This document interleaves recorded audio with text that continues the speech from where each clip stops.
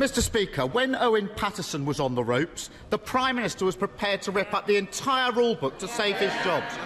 P&O workers want to him to show the same fight in relation to them. The government had advance warning of these mass sackings. A memo was sent to the Transport Secretary and to the Prime Minister's office, but they didn't lift a finger to stop them. Did the Prime Minister not understand the memo, or did he just not bother to read it?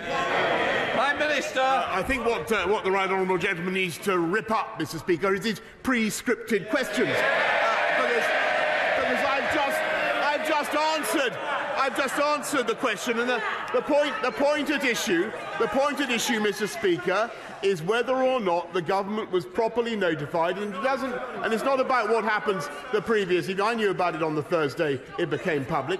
But the, the company concerned has a duty uh, to notify the government 45 days, uh, Mr. Speaker, before they take action of that kind.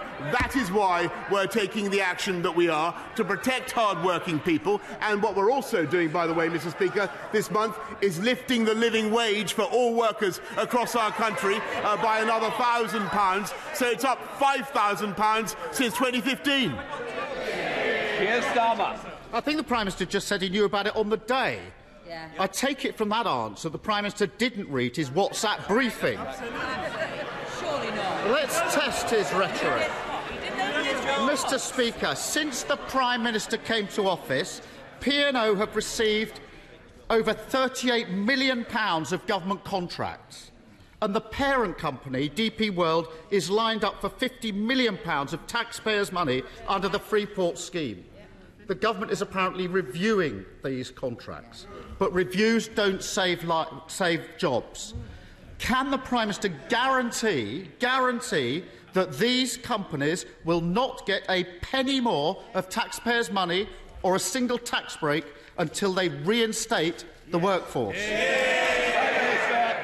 Mr. Speaker, I think what the House has already heard is that we are taking legal action against the against the, yes we are against the company concerned under under the 1992 uh, Employment uh, and Trades Union and Labour Relation uh, Act, and that is the the right thing to do because it seems to me, Mr. Speaker, that they have broken the law. But if he is asking if he's asking this government to do what Labour usually want us to do and actively pitchfork away investment around the country from overseas, Mr. Speaker, then that is not what we will do. We'll take them to court, we'll, we'll defend the rights of British workers. What we will not do, Mr. Speaker, is launch a wholehearted campaign, as they would want, against overseas investment, because that is, that is completely wrong and wrong for those workers, Mr. Speaker.